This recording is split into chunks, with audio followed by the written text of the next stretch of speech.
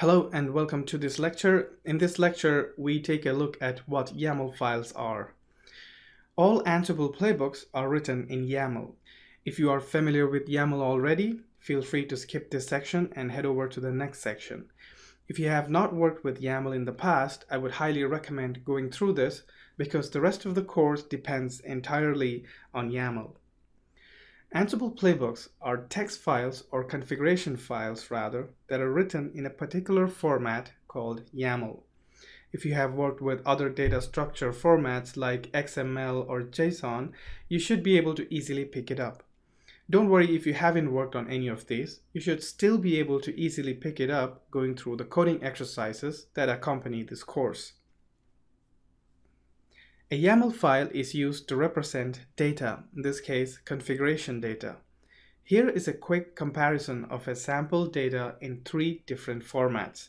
The one on the left is XML where we display a list of servers and their information. The same data is represented in JSON format in the middle and finally in YAML format to the right. Take a minute to compare the three formats.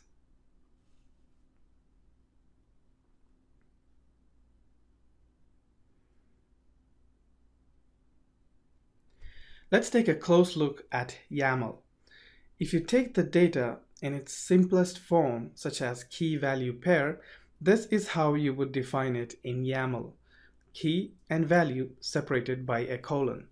The keys are fruit, vegetable, liquid, and meat, and the values are apple, carrot, water, and chicken. Remember, you must have a space followed by colon differentiating the key and the value. Let's take a look at how an array is represented. We would like to list some fruits and vegetables.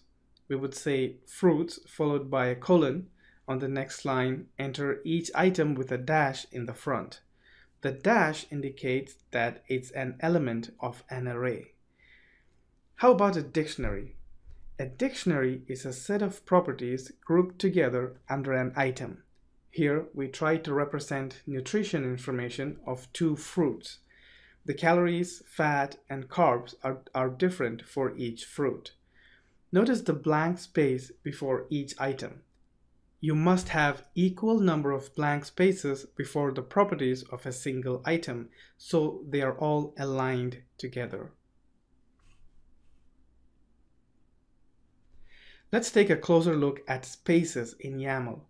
Here we have a dictionary representing the nutrition information of banana. The total amount of calories, fat, and carbs are shown. Notice the number of spaces before each property that indicates these key value pairs fall within banana. But what if we had extra spaces for fat and carbs? Then they will fall under calories and thus become properties of calories, which doesn't make any sense. This will result in a syntax error which will tell you that mapping values are not allowed here because calories already have a value set which is 105. You can either set a direct value or a hash map. You cannot have both. So the number of spaces before each property is key in YAML. You must ensure they're in the right form to represent your data correctly. Let's take it to another level. You can have lists containing dictionaries containing lists. In this case, I have a list of fruits and the elements of the list are banana and grape. But each of these elements are further dictionaries containing nutrition information.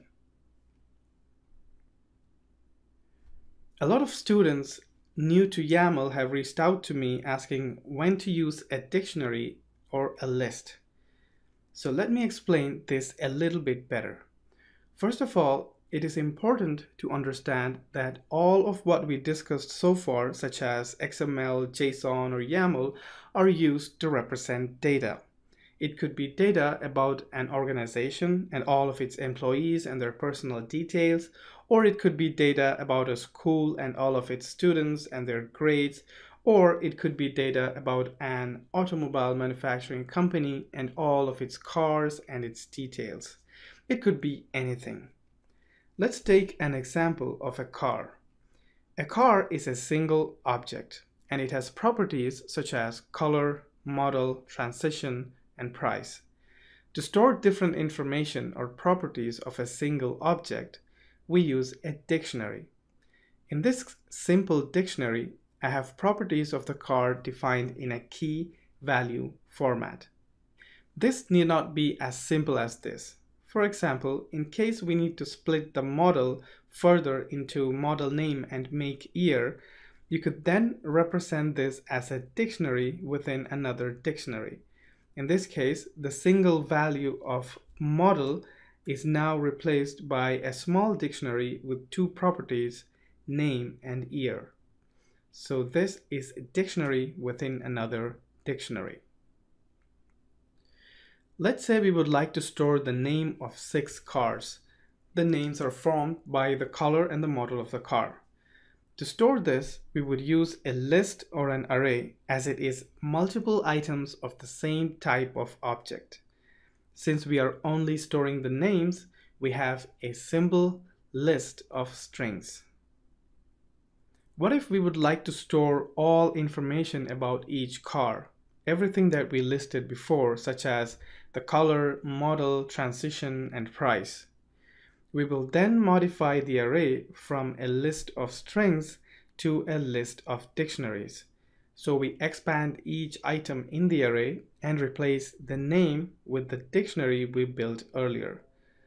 This way, we are able to represent all information about multiple cars in a single YAML file using a list of dictionaries.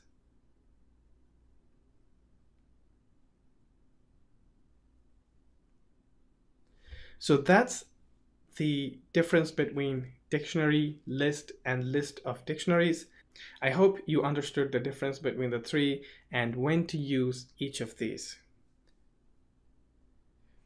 Before we head over to exercises, let's take a look at some key notes. Dictionary is an unordered collection, whereas lists are ordered collection. So what does that mean? The two dictionaries that you see here have the same properties for banana. However, you can see that the order of properties fat and carbs do not match. In the first dictionary, fat is defined before carbs and in the second dictionary, carbs comes first followed by fat. But that doesn't really matter. The properties can be defined in any order, but the two dictionaries will still be the same as long as the values of each property match. This is not the same for lists or arrays. Arrays are ordered collection, so the order of items matter. The two lists shown are not the same because apple and banana are at different positions. This is something to keep in mind while working with data structures. Also remember, any line beginning with a hash is automatically ignored and considered as a comment. We are now ready to head over to the coding exercises and have fun playing with YAML files. Before heading into exercises, let me give you a brief idea on how the exercises, coding exercises work in this course. And this is the same way it works for the rest of the course. So it's good to have uh, an idea on how to work with the coding exercises.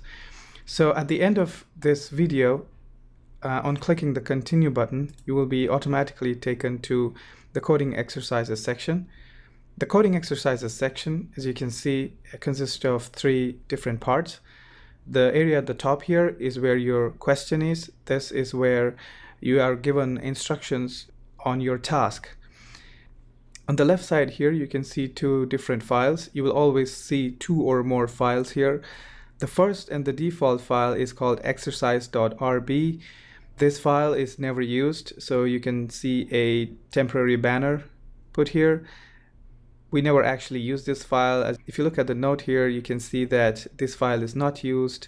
Do not type in your solution in this file, and you must always use the adjacent .yaml or .txt file. So we will be working with two types of files. Uh, one is the .txt file for uh, which we will use for inventory, Ansible inventory files. The other is the .yaml file, which is what we will be working with most of the time, and that is the Ansible playbook files. So never write anything into the exercise.rb. Switch over to the food.yaml file in this case, and if you look at the instructions, you can see that um, the instruction is to update food.yaml file to add a vegetable carrot. So there are currently three uh, types uh, already. So create a new entry here called vegetable and enter the name name of the vegetable in this case carrot. Now if you look at the bottom right corner you will see uh, there are two buttons. Click on the check solution button and it will check for your answer. And you must ensure that your answer is right. In this case I got an error because I typed in the spelling for vegetable wrong. So I'm going to correct that.